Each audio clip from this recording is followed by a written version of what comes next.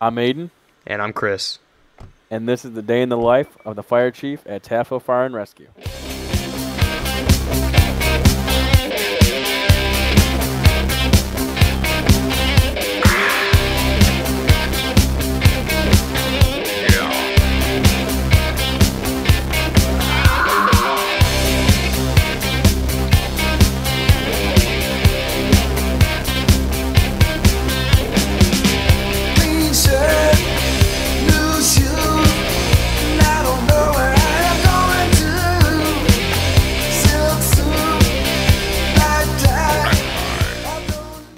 Right, guys. So Station 56 has a call, so we're gonna head over to Station 44, say hello to some of the members, and uh, talk to the officers. So we'll see you there. And we're at Station 44 now. Let's park our car up, and as you can see, we have a big civilian presence here, and well, we don't we don't just discourage that here at Taftville, but hopefully they're not interacting with uh, the firefighters too much because obviously we have a job to do. So let's uh let's go meet.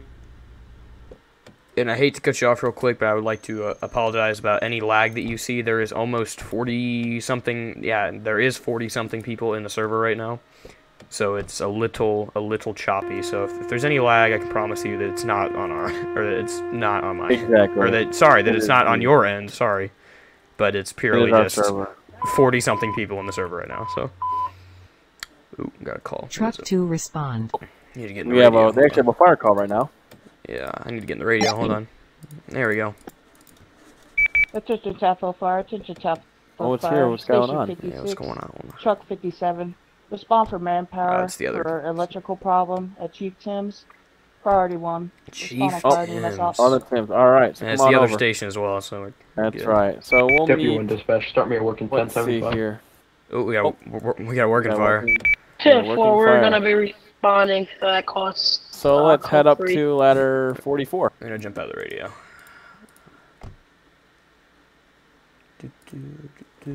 Alrighty. I'm right here, sir. Or yeah, boy, There- there you are. All right, everyone, be good wearing old your best Linda. behaviors. Alrighty. Another call.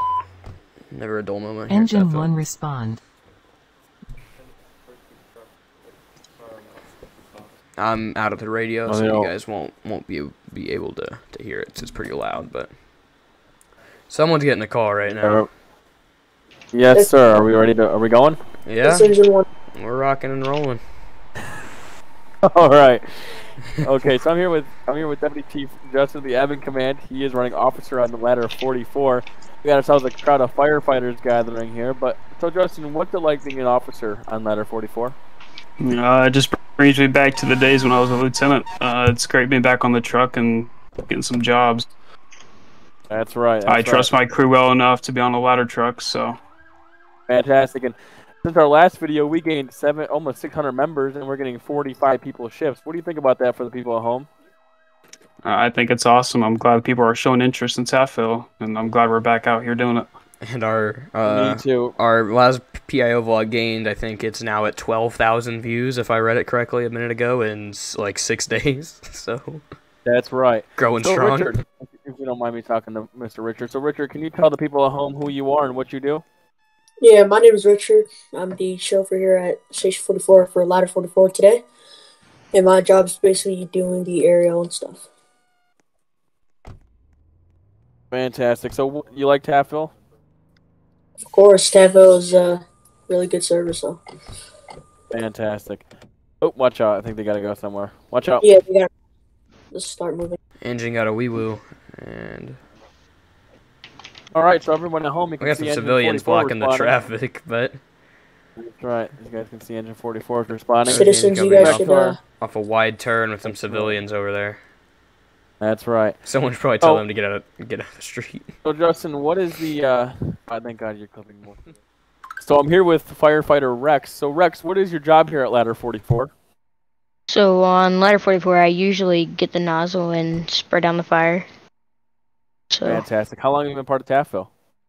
I've been part of TAFO for at least like three months now. Fantastic. And do you enjoy it? Enjoy it? Yeah, it's very fun. That's great to hear. Fantastic. And if you can tell anyone that wants to join at home, what would you tell them about TAFO? Um, it's entertaining. Fantastic.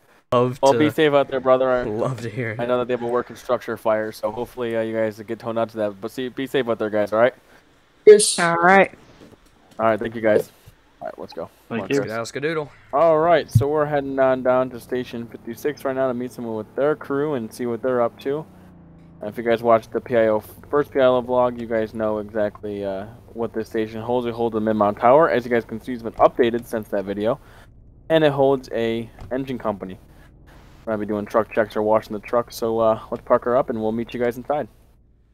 So I'm here with uh, the Sean, the officer of Ladder 56. So, Sean, you're a district chief here in Taftville. Can you tell me what it's like to be part of uh, TVFR? Well, to be part of TVFR, it's, it's it's everything. You know, we have the most strongest community. We interact with we interact with our firefighters. We do hands-on trainings. Like it's nothing else. Like no other station or district you can compare us to. You know, like we're the best of the best. We got new recruits coming in every single day, and honestly, it's just you know like a brotherhood and a family. You know. Fantastic. Well, hopefully, we'll see what we got going on for you guys. So, you know, what can you tell for people that that are joining Taftville? Like, what can you tell them at home? I mean, if Engine from four home, respond. just know that you're gonna Engine suspect one a lot of hard work. You're gonna be dedicating hours, but trust me, at the end of the day, it's fun, and it's gonna it's gonna help you out. You know. Thank you so much. And you know, what what can you what can you say as a little piece of advice for those incoming members coming in the Taftville as a white shirt yourself? So, my my I'm what I'm gonna tell them is once you get in, everything's gonna be okay. Don't stress about anything. Don't overthink anything. We're here, especially us in the white shirts. We're here to help. We're here to assist you through the struggles. Just know that when you come through, you're not the only one that's feeling the way you are. Everybody is gonna go through it, you know. And so Thank yeah, so that's much. pretty much. Thank you so much. All right, and cut. All right, thank you. I'm here with firefighter Marvin. He's been with the agency for a while now. So Marvin, can you tell us your job on ladder 56? Um, my job in Ladder 56 is being a crew, and mostly I handle the ladder sometimes when the officer needs, and I'm a driver Fantastic. too. Fantastic. I, And oh, go ahead. Sorry. I sometimes drive the truck when needed if there's no driver. That's all. Fantastic. Do you so do you like Taftville Fire and Rescue? Yeah, I really like it, and it's been and it's an honor to serve here in Tasmania. Well, it's an honor to have you with us. And the viewers at home, what can they expect when they join Taftville? Uh, when you join Taftville, it's a great experience to have, and I assure you, you will enjoy your uh, journey here in Taftville once you join, and and you will enjoy. That's all. Thank you, Marvin. Thank you for being committed to excellence every single day you come on Thank shift you. with us. I appreciate it. Here, I started rolling. above Battalion 5 and uh, a couple engines on scene. 10 4 Chief 1 en route to safety. All right, boys and girls, so we're heading out to a garage fire right now in Dunn Lane. Uh, the incident commander has Battalion 5 on scene and some other chiefs, so we're going to go out there and help in the way we can. Sorry about the sirens, it's pretty loud. I'm sorry about the uh, lag right. as well. There's fire in the Yes, game as again, well. it's, we're having a 40 some person shift. So. And plus, there's fire and trucks at the location we're going to. Exactly. So Chief 1 on scene awaiting assignment. So we'll see you guys on the fire ground. All right, guys. So I'm here at the garage fire right now. As you can see, if we take a walk this way, we are with engine 57 as a mutual aid in this box. We have engine 45 or 44, engine 45 as probably the first due, and we have the battalion 5, deputy 1, and ourselves on scene. Battalion 5, the PIO chief currently has uh, scene command. Oh, and if you look behind us, there is ladder 45, or 44, excuse me. Uh, ladder 44 is about to be arriving on scene. And uh, if you guys come over here, we can go see some operations in uh, in Sandpoint. As you guys can see, sorry, we guys can see, we got the guys making entry into the uh, into the garage with the civilian watching, and right behind us is Deputy Chief John. He is the uh, he's the Deputy Chief of Fire uh, Firegrounds Operations here, and there is the Battalion Chief wearing his old custom when he was a captain. He's take, he's actually the scene commander right now, and there's his ride along. So as you guys can see here at Taftville, we have a quick response to these kind of these kind of calls. Firefighters are got their attack lines, are probably waiting for orders from command to make interior. And uh, yeah, as you guys can see, they're making interior. Uh, today we had our first, we had Academy Class 5 graduates. You guys can see all the yellow domes that are overwhelmingly here, except over the over the orange and black domes. But hey, what can you do? These guys are dedicated to the department just as much as anybody else, and it's glad to have them here. So if we take a look around, you guys can see this guy right here. He's a fire candidate. He does uh he does some exterior stuff. Here's a lieutenant right there in his blue helmet. And uh, yeah, and here's another here's another candidate. But yeah, it looks like they probably got the fire coming knocked. All right. So yeah, this is what a call looks like here on Tafa Fire and Rescue. As you guys can see, they make quick interior and make quick work of the job. So we'll see you on the next one. Here in Tafa Fire Rescue, we just made the biggest change in our history. We completely whitelisted our agency and have permanent station and rig assignments for all of our firefighters.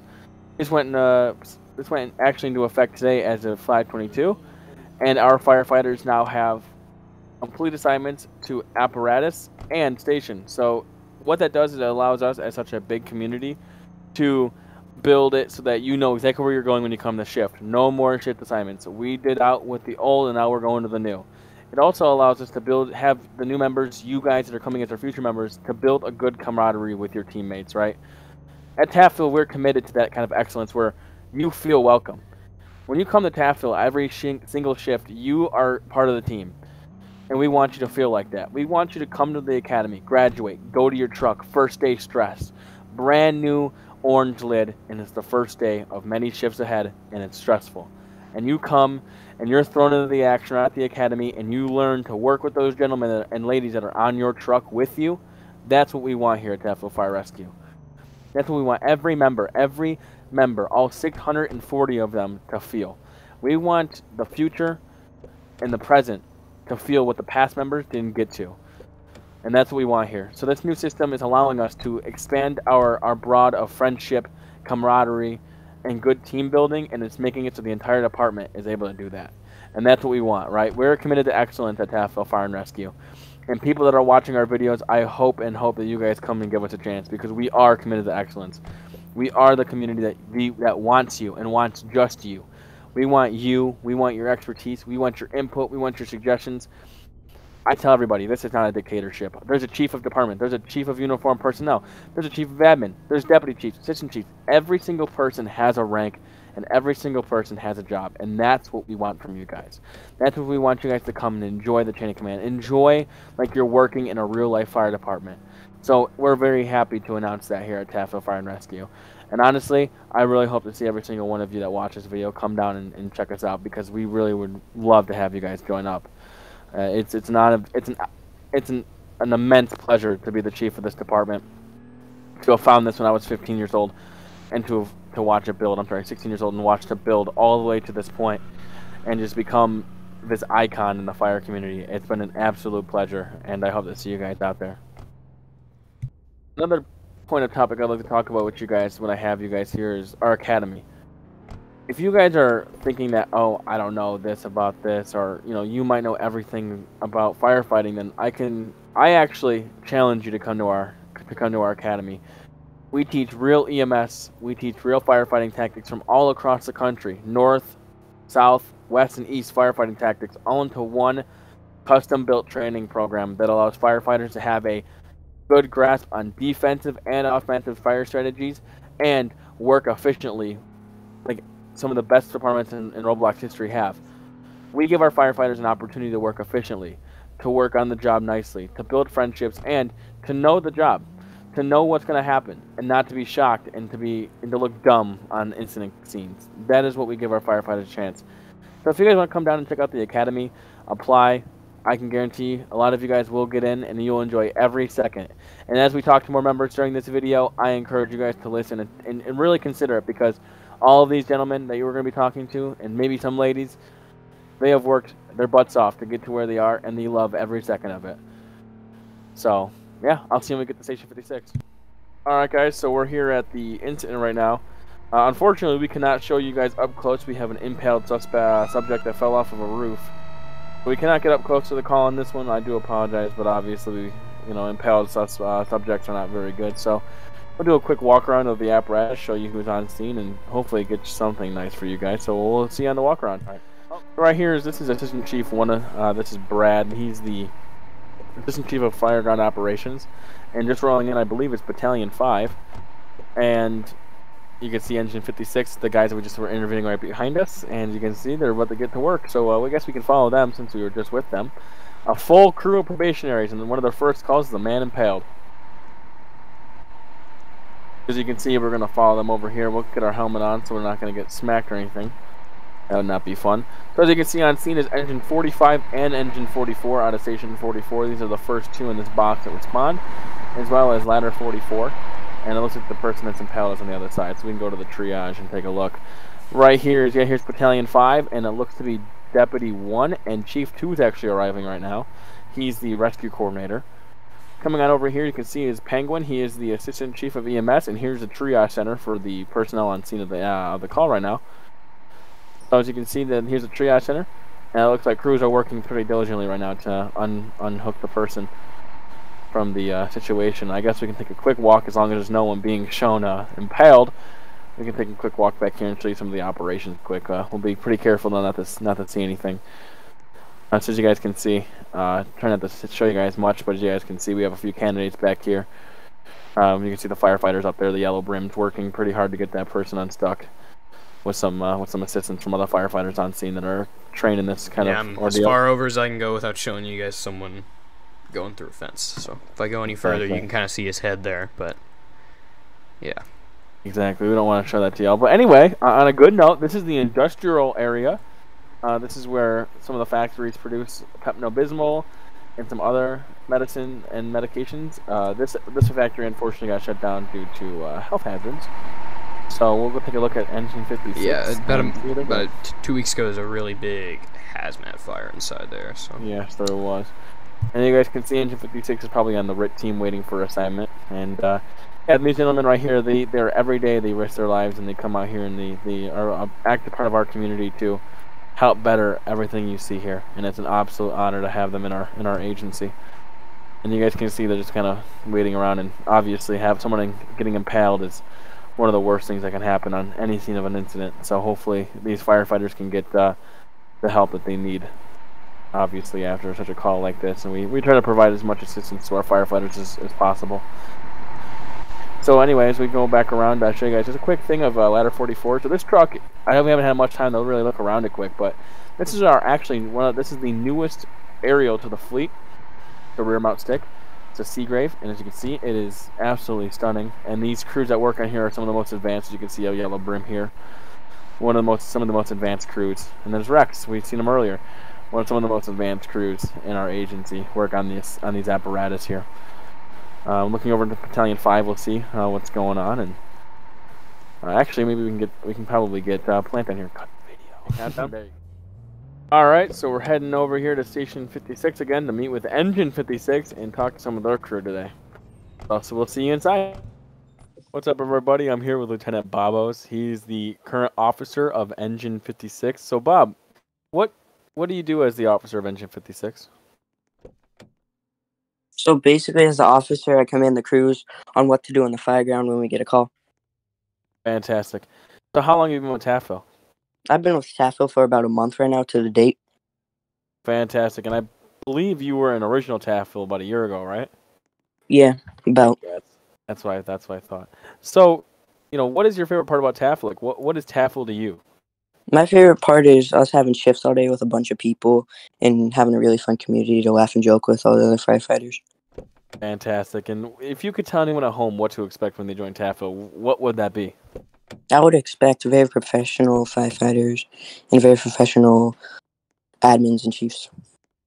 Fantastic. So, you know, to the people at home, you know, be prepared to be professional, be prepared to have a good chain of command and meet some good people, right? All right. All right, guys, we're back at Station 56. Engine 56 just got a call, so I wonder where they're going. And looks like Chief 2 is responding as well. Deputy, or Chief of uh, Chief of Uniform Personnel, Zach, is right behind us here. and I believe that they're going out to a call. But I we're gonna go self-attach and see what's going on. So we'll see you there. All right, ladies and gentlemen, we're on scene of a fully working structure fire right now. So we're gonna go ahead and move our vehicle out of the way and get the command posts going, and hopefully help them out where they need us. So as you guys can see, we're pre-arrival. Engine 56. Whoa, engine 56 probably just took the other way around. So we'll assist Deputy One with getting the command post set up and uh, help them out whenever we can. As you guys can see, we'll uh, we'll give John his command post here so we can. This is Deputy Chief John. He's the Chief of uh, Fireground Operations. I don't know how many times I'm going to say that today. Uh, but John is John's one of our really really well known and liked chiefs. So as you guys can see, the command post is now officially set up, and the incident commanders are going to do their magic. And you can see John, obviously the deputy chief, so he has the incident command, and Battalion 5 is probably arriving on scene any minute now. And there's Battalion 5, Speak of the Devil. So obviously, these these Battalion 5 and Deputy 1 will work together and uh, get the call situated. So if you, uh, my cameraman wants to follow me, we'll head around the truck to truck. Uh, we'll put our helmet on for this one, because obviously don't want to get smacked by anything. Oh, watch out for Battalion 5, he's here. So as you guys can see, we got a oh we got a Prince That was a, a nice fresh blue helmet working on the pumps with his engineer I suppose. He's probably getting taught the ropes of engineering. As you guys can see, they're making the interior search now, uh, and you guys can see we got a lot of yellow helmets on scene, a lot of good working senior firefighters on scene right now, making a difference. And as you guys can see, there's uh, there's ladder 56 getting their aerial up, the crew we spoke to earlier. You guys want to come around, you guys can see they're waiting for their assignment. Engine 45, first two on this, or it seems like engine 44 is first two on this call.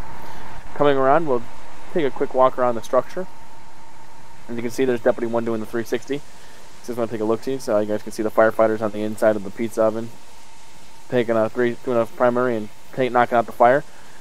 And there is the ladder truck getting themselves placed up on the aerial coming around, we'll take a look at all the apparatus on scene. And as you guys can imagine, we still have two or three apparatus in service right now, um, able to protect the fire district. Uh, actually, we have one or two.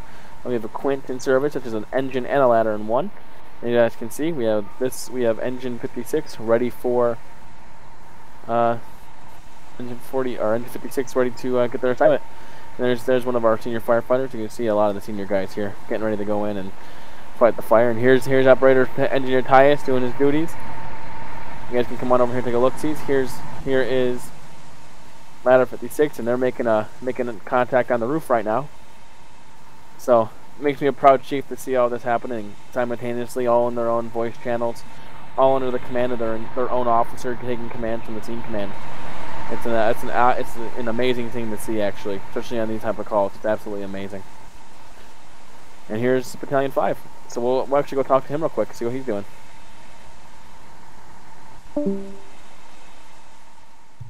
Alright, well I'm here with Battalion 5. Josh, he is the PIO Battalion Chief. He's in charge, he's under the Admin Division, is in charge of all the uh, PIO operations, giving ride-alongs, and being one of the faces for the department. So Josh, are you, scene, are you part of the scene commanders here, or no?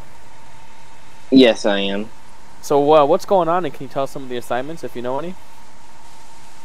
Uh, it's all over the place at this point. I y'all have done came in here and messed me up at this point, but I will figure out that in a minute. Fantastic. Well, sorry, Yeah, to, yeah. sorry to cut you off, and me and Command Post wanted to see what you're doing and say hi to you and say you're doing this fine day. Yeah. yeah, yeah. So, we'll let you get back to your job. Thanks for taking a moment to talk to us. all right. Well, everybody, I hope you enjoyed this day in the life of a fire chief. Hope you enjoyed me taking you around for the last half an hour and showing you what it's like to be in my shoes. Hope you guys enjoyed meeting some of the members and hearing their stories, and I hope to see you guys in the city of Taftville Fire and Rescue. It'll be an absolute honor. Thank you and have a blessed day. Ha- Have a good one.